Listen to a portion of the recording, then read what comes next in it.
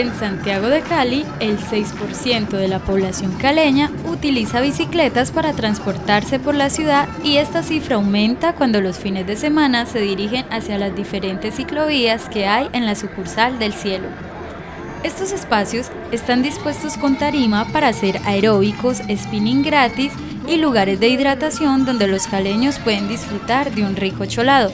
Pero entre semana las vías para las ciclas son precarias, por ello el Departamento Administrativo y Planeación ha encargado a la Secretaría de Infraestructura Vial para readecuar rutas en deterioro y así mejorar este sistema.